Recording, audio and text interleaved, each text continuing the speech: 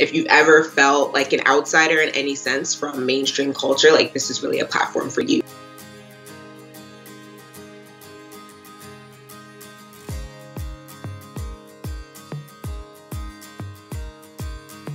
others can't tell our stories the way that we can.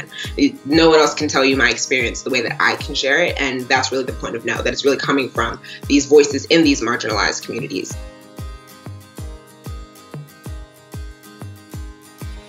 I grew up in predominantly white communities my entire life, and I never really had any experiences with the African American community until I was 18 and like went to Howard. I didn't necessarily fit in with the African students per se who were born and raised back home and then came here like they still have their accent so it's like to them I was very much an American like I sound American I was born in America but to the African American students I was African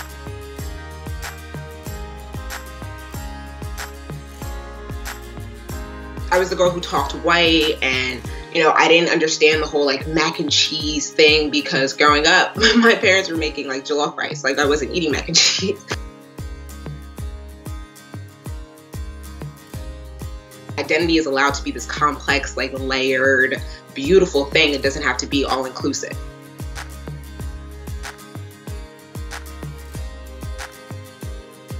If someone doesn't practice the same religion as you or doesn't love the same gender as you and you're not open to learning from their perspective and like how they're still a human being, it really just like runs the risk of like damaging like our social cohesion in the sense.